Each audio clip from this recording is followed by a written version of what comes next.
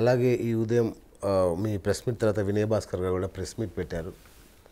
మీకు టీఆర్ఎస్ వల్లే రాజకీయ జీవితం వచ్చింది. ఎంతో లబ్ధి పొందారు అనే మాట వాడారు. అంటే మేరకు లబ్ధి పొందారు? మేము టీఆర్ఎస్ను కన్సల్ట్ అయ్యామా? టీఆర్ఎస్ మమ్మల్ని కన్సల్ట్ అయిందా?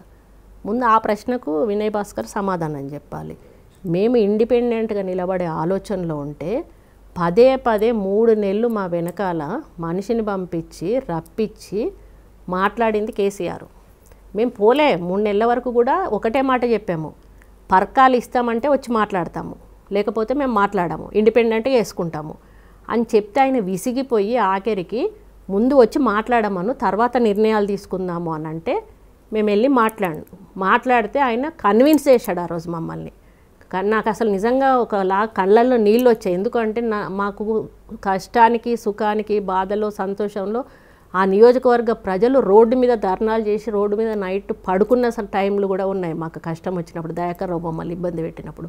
అటువంటి నియోజకవర్గాన్ని మేము వదులుకోమన్నా అని అంటే లేదు నేను ఉన్నా కదా అక్కడ ఏమన్నా ప్రాబ్లం ఉంటే నేను సాల్వ్ చేస్తాను నువ్వు అట్లా అనుకోకు. నా కోసం మన పార్టీ కోసం నిలబడు. ఎందుకంటే బసవరాజ్ సారేని ఓడించాలంటే ఎవరు మరి అదే వినయ్ భాస్కర్ని అక్కడ నిలబెట్టవచ్చు కదా. ఇదే భూపాల్ పెళ్ళి బసవనాచారిని అక్కడ నిలబెట్టొచ్చు కదా. మీరు గొప్ప వ్యక్తులే కదా. మరి నన్ను ఎందుకు నిలబెట్టిండు? నా పరకాల్లో నిలబెట్టకుండా? అంటే నేను బతిమలాడితే నిలబెట్టిండా? ఆయన ఇష్టపడి నిలబెట్టిండా?